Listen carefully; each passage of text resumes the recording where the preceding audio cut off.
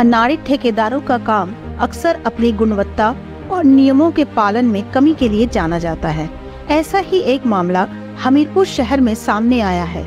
सदर थाना के पास जल शक्ति विभाग द्वारा बनाए गए एक पेयजल टैंक से गुरुद्वारा मोहल्ले तक दो इंच की पाइपलाइन बिछाने का कार्य चल रहा है, लेकिन इस काम में लापरवाही की हद पार हो चुकी है। पानी की इस पाइप को बाज़ार में नाली के ऊपर से और गली में टुकड़ों टुकड़ों में जिग जैग तरीके से डाला गया है। अब यह सवाल उठता है कि क्या संबंधित अधिकारियों ने इस काम की ठीक से निगरानी की है? सड़क से पाइप को क्रॉस करने के लिए पीडब्ल्यूडी की अनुमति भी नहीं ली गई। बिना परमिशन के सड़क काटने का काम भी शुरू कर दिया गया है। जब मामला पीडब्ल्यूडी के पास पहुँचा, तो अब अधिकारियों ने ठेकेदार के खिलाफ मामला दर्ज करवाने की तैयारी शुरू कर दी है।